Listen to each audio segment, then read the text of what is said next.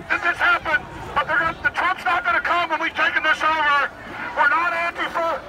We're not BLM. You're amazing. I love you. Let's march around to the other side. And let's not fight the police and give the system what they want. We are peaceful. We won this election. And as much as I love seeing the Trump flags flying over this, we need to not have the confrontation with the police. They're going to make that the story. I'm going to march to the other side where we have a stage where we can speak and occupy peacefully. Tell everybody behind you, march to the other side. March to the other side. In front of the Capitol!